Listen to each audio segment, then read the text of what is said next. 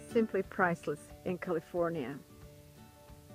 Everything looks forward to the rain.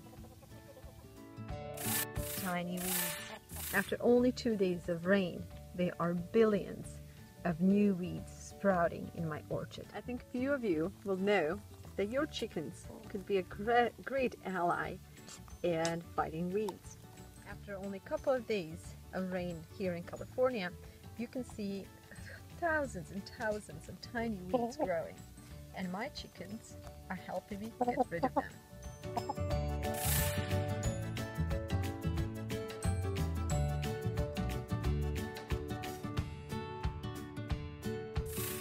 It can help you keep weeds under control, as my chickens are doing for us.